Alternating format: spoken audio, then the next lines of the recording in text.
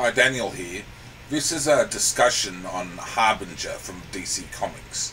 Um, I'm going to read some information first of all from uh, Wikipedia, which is public domain information on Harbinger.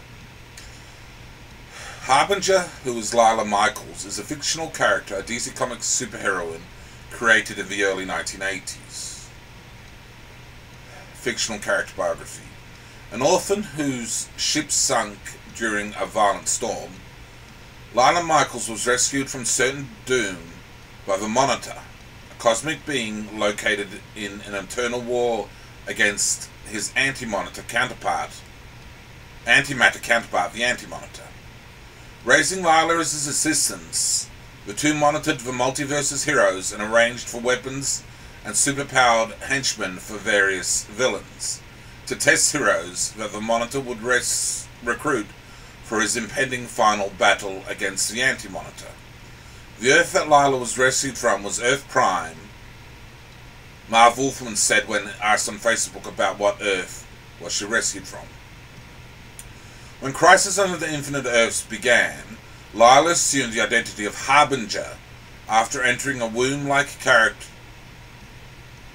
chamber which energized and allowed her to create a series of doppelgangers in her new costume. These doppelgangers recruited a wide variety of heroes and villains to fight the Anti-Monitor's, shadow demons and protect a series of vibration towers designed to protect Earth 1 and Earth 2 from the wave of antimatter destroying the DC multiverse. However, while recruiting the hero Orion, a shadow demon merged with one of Harbinger's duplicates, allowing the Anti-Monitor to control her once her various doubles merged into a single entity. Under the Anti-Monitor's control, Lyla killed the Monitor. Monitor foresaw the Anti-Monitor's gambit and arranged to have his life force be the fuel to power up the vibration towers, saving Earth 1 and 2 from doom. The shock of what she did caused Lyla to revert to a version of the normal form, which then sacrificed all of her powers to save the last three alternate universe, home of the freedom fighters, the Charlton heroes, and the Captain Marvel family, from annihilation.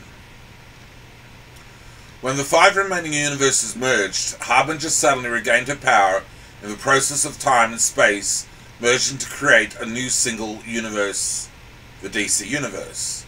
Afterwards, Harbinger recorded the history of a post-crisis DC Universe into a computer satellite. This led to the Millennium crossover, which had the satellite fall into the hands of the Manhunters, who used the data to confirm the identities of much of the Earth of the Earth's superhero population as part of a greater plan to infiltrate the superhero community.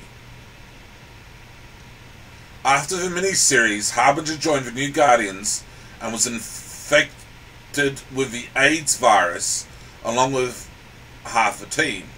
She reunited with fellow Monitor allies Pariah and Lady Quark during the War of the Gods after which she was offered membership with the Amazon tribe of Themyscira as the Amazon's official historian.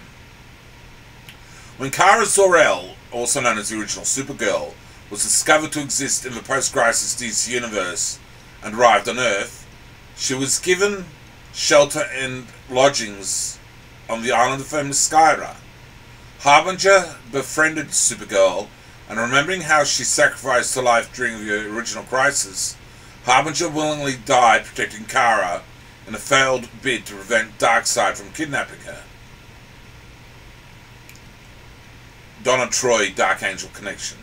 During the events of the Return of Donna Troy miniseries, it was revealed that Donna Troy's archenemy and temporal dom- doppelganger, a Dark Angel, Dark Angel, served a similar role to Harbinger during the original Crisis before severing ties with the Anti-Monitor.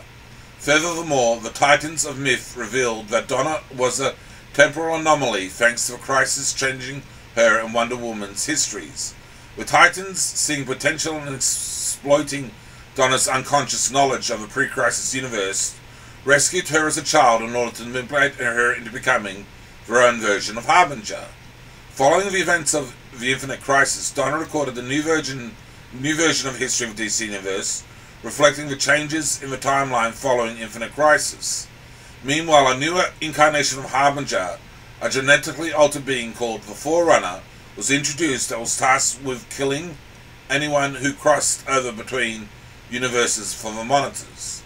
Harbinger was reanimated as a Black Lantern during the Blackest Night crossover. She uses her knowledge of history to provide her targets by bringing up emotional memories, but is destroyed with the other Black Lanterns.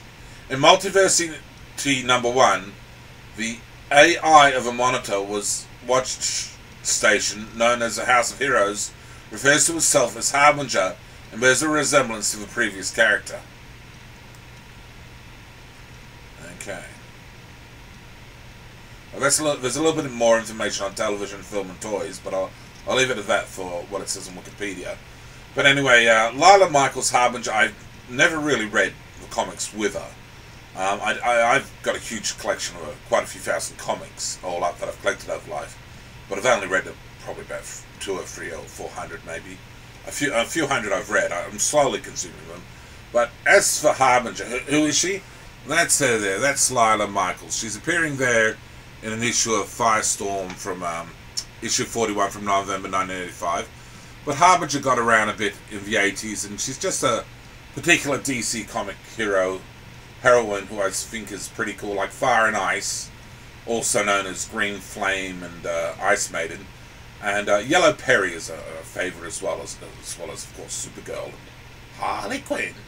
So that's that's a little bit of information on Harbinger from DC Comics. There she is in all her glory. Cool.